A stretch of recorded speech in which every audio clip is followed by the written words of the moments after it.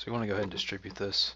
And what we're going to get is multiplying x times x. So we get x squared minus xy minus xz plus xy minus y squared minus yz and plus xz minus yz and minus z squared. So we're going to combine like terms. So I get my x squared and my xy, so this cancels out. And my xz's, those cancel out.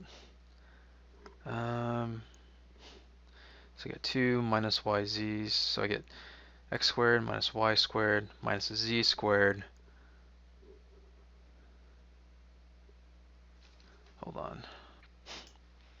Alright, my bad. Um, I got 2 minus y's, or xy's. Um, I should have, well, I should have a plus xy in here. I screwed up. And then, in the top I did, and then minus 2, 2yz. Okay, and I know this is right. Okay, that's it.